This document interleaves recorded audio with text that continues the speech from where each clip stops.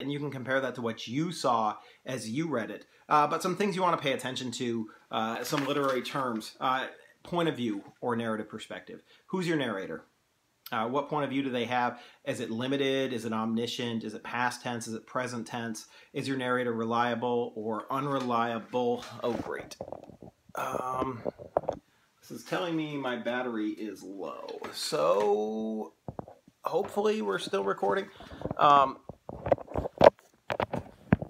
my phone is an iPhone 6 and the battery um, dies really quickly and the, the cord doesn't connect very well. So bear with me here. Um, so as I was saying, point of view and narrative perspective. Who's your narrator? What what do they understand about the world? Are they are they limited or omniscient? Is it first or, or third person? Are we trapped behind one person's eyes, or is the narrator sort of able to see everybody? Is it, is it an omniscient perspective? Does it know everything about everybody? These can help you in your diagnosis of the story, so that's useful to look at. Uh, selection of detail. What things does the author focus on, and why? What are the what are the details uh, that they're noticing uh, through their narrative perspective?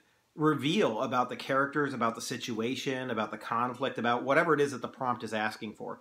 Uh, so you can do a lot with selection of detail. Figurative language, anytime you see a metaphor, a simile, a paradox, an oxymoron, a personification, a hyperbole, a metonymy, any of those kinds of things, stop. Take a quick second and, and underline and identify it. Uh, what is the author doing there? That's that's useful. Tone. Uh, what kind of tone does the author take? Does the tone shift at any point? Um, you know, what does the tone reveal about the characters, especially if the characters are talking, if there's dialogue or if there's a narrative point of view that is partial to a particular person, the tone that they take about their surroundings reveals a lot about the character, and that's really useful information. Uh, symbolism, is there any symbolism going on? Uh, if you see symbolism, identify it. Symbolism is almost always connected to themes, so if you can if you can identify a symbol, maybe you can identify a theme. Uh, allegory, is it clearly two levels of meaning going on. That's rare, but if it happens and you find it, that's a gold mine. Uh, allusion. Do you see allusions to the Bible? Do you see allusions to Greek mythology? Um, to other works of literature that we've read. If you see some of those, those are those are very useful to sort of mine and talk about as well. Um, as I said earlier, directed versus indirect characterization. Uh, about 30% of these deal with characterization specifically, and so if you can identify that element, it will help you um, in your analysis. Uh, juxtaposition. A lot of times authors set things up so there are two paragraphs that almost talk to each other where they explore two different ideas and if things are set up in juxtaposition like that it's done so you as a reader can make some sort of a uh, judgment between those two things or understand the judgment that the author or the character feels between those two things so juxtaposition is really useful to you um, dialogue uh, pay attention to dialogue because even if the point of view doesn't shift, the dialogue is from the point of view of the character. And so you can gain some good knowledge about a character by paying attention to their dialogue and how it's used. Uh, inner monologues, another great tool. Uh, if a character doesn't say it out loud but thinks it in their head, that's very revealing about the character's ideas. Uh, but these are all terms that you can use in your essay. You're not going to use all of them. You're going to focus on the ones that you see. Uh, but I'm just trying to give you a list. Theme, you know, if you see some themes coming out, that's great. That's the home run. If you can get down to a theme at the end, that's wonderful. They're looking for that complexity and nuance and theme. Um, and then um, irony. Remember, there's three ironies. Uh, verbal irony, situational irony, and dramatic irony. Um, but if you see anything that's ironic, uh, that's that's usually something that's useful to analyze as well. Why is the author making it ironic? What is the purpose of this irony? What what does it teach us? Uh, so these are all the kinds of things you want to ask and think about as you read the excerpt. So let's read the excerpt. I'm going to read the question to you one more time just to get it fresh in your minds, and then I'm going to read the excerpt and I'll I'll give you whatever I can find in it. And then what we'll do is we'll go online. I'm gonna I'm gonna drop the link when I post this on the web page or on the classroom page. But I'll give you the link to the AP classroom where you can go and you can look at the released answers to this particular question. And we'll read those three answers and we'll look at what those authors did and we'll see what they scored and um, hopefully that'll give you a sense of how other students your age with your ability levels are answering these questions and which ones score well and which ones don't score well and, and why. And that'll help you as you go to write your next timed writing as well. So, um, the following passage is from D.H. Lawrence's 1950 novel, The Rainbow, which focuses on the lives of the Brangwens, a farming family who lived in rural England during the late 19th century. Read the passage carefully. Annotate. Then write an essay in which you analyze how Lawrence, the author, employs literary devices to characterize the woman and capture her situation. So, how did the devices used by Lawrence characterize the woman, capture her situation? It was enough for the men. I'm, I'm just gonna uh, let me read the whole thing through, and then we'll read the whole thing through a second time. This is how I would do it. I would just read it once, just to read it and understand the passage. I would skim it real quick, and then I would go through and do my real annotation. It was enough for the men that the earth heaved and opened its furrow to them, that the wind blew dry the wet wheat, and set the young ears of corn wheeling freshly round about. It was enough that they helped the cow in labor, or ferreted the rats from under the barn, or broke the back of the rabbit with a sharp knock of the hand. So much warmth and generating and pain and death did they know in their blood, earth and sky and beast and green plants, so much exchange and interchange that they had with these, that they lived full and surcharged, their senses full fed, their faces always turned to the heat of blood, staring into the sun, dazed with looking toward the source of generation, unable to turn around. But the woman wanted another form of life than this, something that was not blood intimacy. Her house faced out from the farm buildings and the fields, looked out to the road and the village with the church and the hall and the world beyond. She stood to see the far off world of cities and governments and the active scope of man, the magic land to her where secrets were made known and desires fulfilled.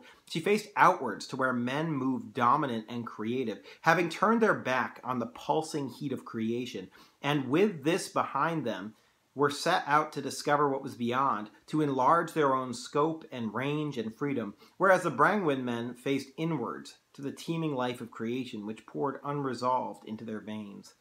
Looking out, as she must, from the front of her house toward the activity of man and the world at large, while her husband looked out to the back at the sky and the harvest and the beast and land, she strained her eyes to see what man had done in fighting outwards to knowledge. She strained in her to hear how he uttered himself in his conquest. Her deepest desire hung on the battle that she heard far off being waged on the edge of the unknown. She also wanted to know and to be of the fighting host. At home, even so near as Cossethay, was the vicar, who spoke the other magic language and had the other finer bearing, both of which she could perceive but could not never attain to. The vicar moved in worlds beyond where her own menfolk existed. Beyond where her own menfolk existed. Did she not know her own menfolk, fresh, slow, full built men, masterful enough but easy, native to the earth, lacking outwardness and range of motion, whereas the vicar, dark and dry and small beside her husband, had yet a quickness and a range of being that made Brangwen, in his large geniality, seem dull and local. She knew her husband, but the vicar's nature was that which passed beyond her knowledge. As Brangwen had power over cattle, so the vicar had power over her husband. What was it in the vicar that raised him above the common men as man is raised above a beast? She craved to know. She craved to achieve this higher being, if not in herself, then in her children.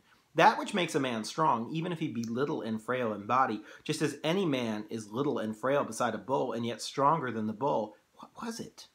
It was not money, nor power, nor position. What power had the vicar over Tom Brangwen? None.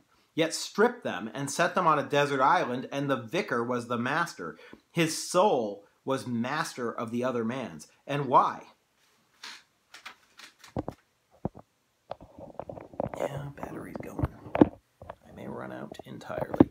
Uh, and why? She decided it was a question of knowledge. So, I'm still playing with my charger. Um, I apologize for these uh, unprofessional interruptions. Also, that I can't edit them out because I have absolutely no editing skill. But hopefully you heard a lot of cool stuff in that passage that you can write about. Uh, certainly there is some. And let's let's talk about it. I'm going to read through it um, at least until my battery dies and I figure out this whole plug-in issue.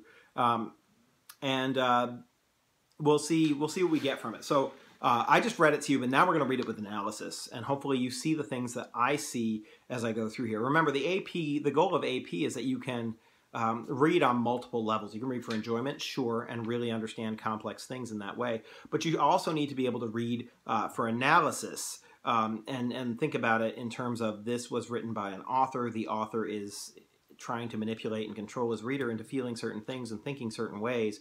Um, he has a theme or a lesson. Every author is a teacher. What is that theme? What is that lesson? What's coming across here? Uh, so hopefully you're really starting to, to be able to understand all of that uh, and be able to shift seamlessly between those levels. So let's go. It was enough for the men that the earth heaved and opened its furrow to them, that the wind blew to dry the wet wheat and set the young ears of corn wheeling freshly about it.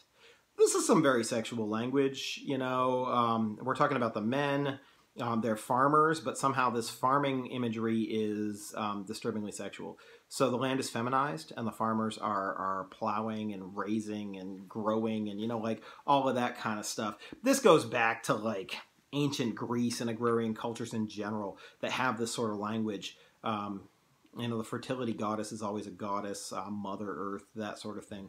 Um, plowing and planting being sexual. So, okay, I see that. Um, let's see. It was enough that they helped the cow in labor. Hey, there's the birth immediately after the sex image. Or ferreted the rats from under the barn and broke the back of the rabbit with a sharp knock of the hand. That's very violent. But hey, we just went with sex, birth, death. So this is a cycle that continues, and clearly the men are involved in this cycle.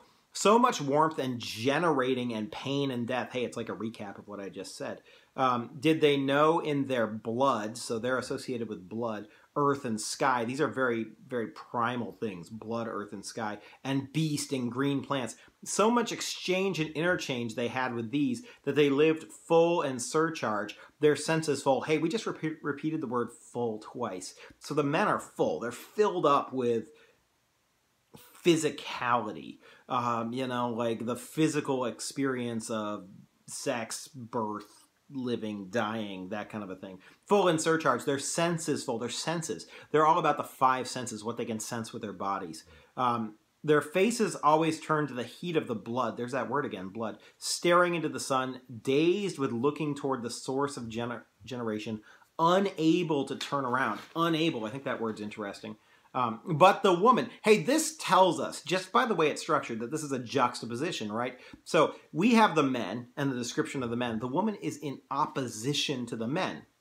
We're supposed to pay attention to the way the woman's characterized, so we probably want to look at the characterization of the woman as opposed or in opposition to the characterization of her husband, the Brangwen men. But the woman wanted another form of life than this something that was not blood intimacy. So she's opposed to the blood. Um, she's opposed to maybe the lifestyle of the farmers. Her house faced out from the farm. Now, this is an opposition to inward. All those men were looking inward. Her house faces outwards from the farm buildings and fields. Looked out to the, and that's a personification of the house. Looked out to the road and the village with church and hall and the world beyond. So she is outward looking as opposed to inward looking. Um, she stood to see the far off world of cities and governments the active scope of man, the magic land. I think that word magic is probably useful to her, whose secrets, she's interested in understanding secrets, were made known and desires fulfilled. She has desires. So her desires are for a wider world than rural farmland.